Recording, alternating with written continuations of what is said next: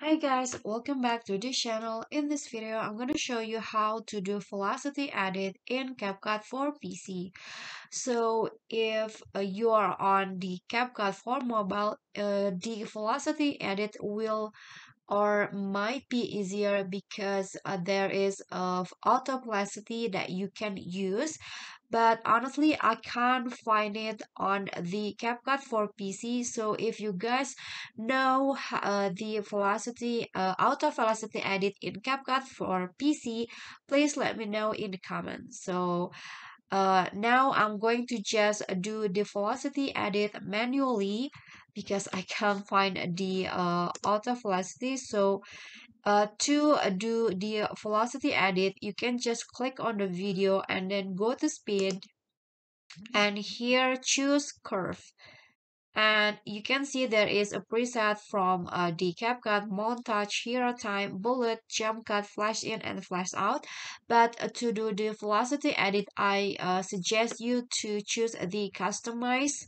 So you can adjust it as you like. So just click on that so to do the velocity edit, you can just customize and here you can just drag and drop the spectrogram as you like to adjust the velocity edit. So I'm going to drag this down first and then maybe up in here and then go down again like so.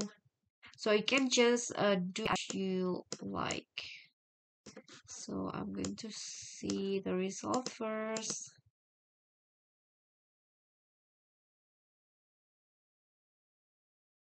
I think it's good enough.